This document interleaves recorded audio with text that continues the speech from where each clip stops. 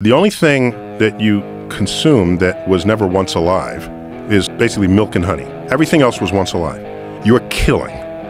So now imagine a civilization from another planet that is entirely energized by photosynthesis. Maybe they have what we would call an animal, but their entire skin photosynthesizes. So all living creatures on that planet consume sunlight from their home star.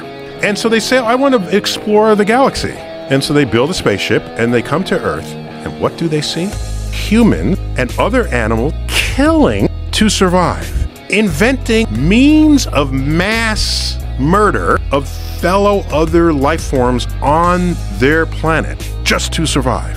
They would consider us barbaric for having done so.